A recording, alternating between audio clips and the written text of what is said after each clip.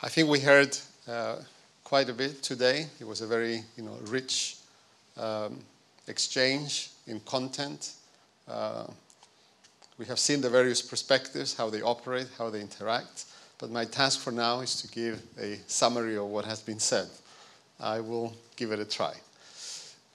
The topic today, of course, was on uh, personal narratives, and we were told that some personal narratives, uh, which are, of course, connected to the broader narratives of society, can uh, encourage war and perpetuate the conflict, or they can curb conflict and work towards peace. We have started with that uh, very interesting uh, little film entitled It's a Matter of Habit. And I think there we saw the two narratives in a, in a rather um, artistic rendition of how they work. Uh, my understanding of that film was that it's all about learning. We can either learn to kill and learn to fear and learn to dehumanize one another, or we can relearn like children all over again. How to love, how to be human, how to be restorative.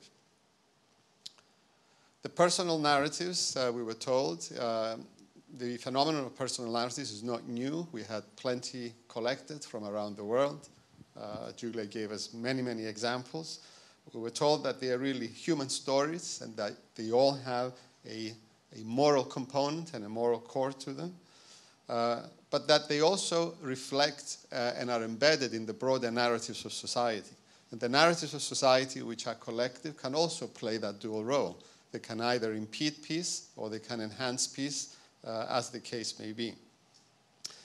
We were also told that there are pros and cons to narratives and the expression and the sharing of narratives. It's not really a straightforward phenomenon. And that some narratives um, may simply perpetuate and, and, and get people and the audience to relive the conflict and to relive the trauma, whereas other narratives may give the opportunity to move beyond the drama and the victimhood. We were told that um, some narratives may also imprison people and imprison us uh, into historical memories you know, where the human mind uh, gets stuck in the past. But we were also told that narratives can also help heal and help and help us, you know, renew our sense of self and our sense of a vision for the future. And then, of course, um, our speaker went into the issue of uh, narratives and dialogue.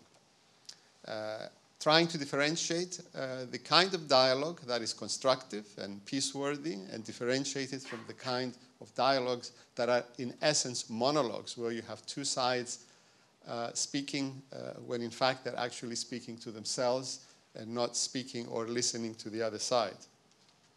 And then we were given the directives as to what makes a true dialogue. That a true dialogue, it's all about a joint venture.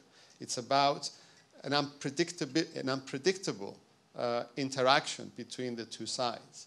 And that it has to have an I thou component where the humanization process is really part of the exchange. True dialogue really builds community. Uh, and true dialogue, it's really reflective. And through dialogue, is really ongoing. It never really ceases. We are also told that the process of dialogue has a spectrum. And it's a spectrum that starts from the call to vengeance, um, the expression of victimization, confusion was the other level, and of course, there is also the phenomenon of embracing the other in the course of engaging in dialogue. Victimhood and the call for um, uh, vengeance, of course, are phenomena in narratives that block the process towards peace building.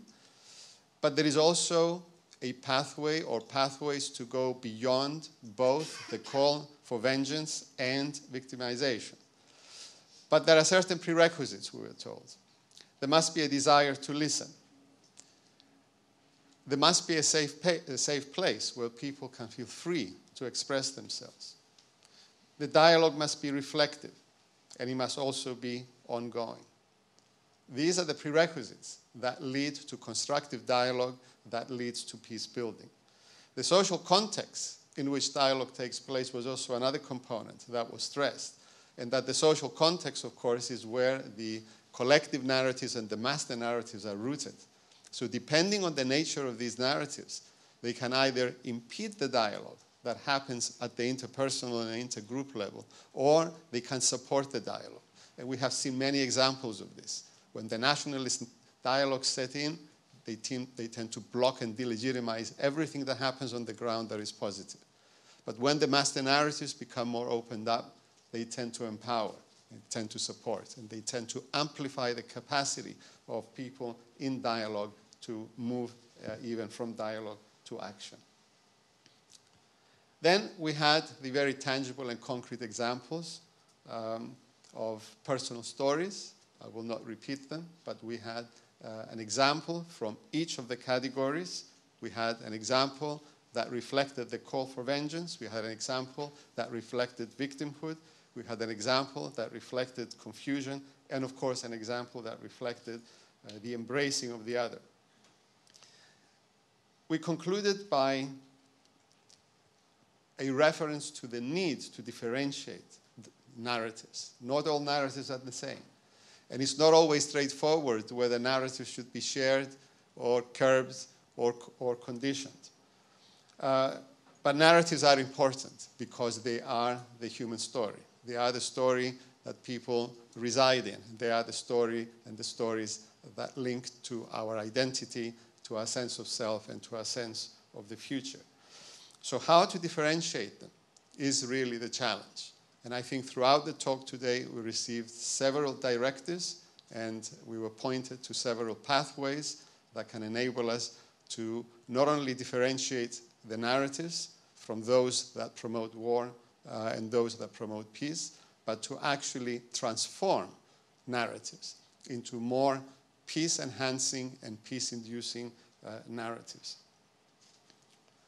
We were also told, in conclusion, that there is a need to create also joint narratives, where the former rivals can create a vision and an interpretation of reality and an interpretation of self that has enough overlap and enough common points of reference to create a new reality, not only within the human mind, but also in the society in which these groups reside.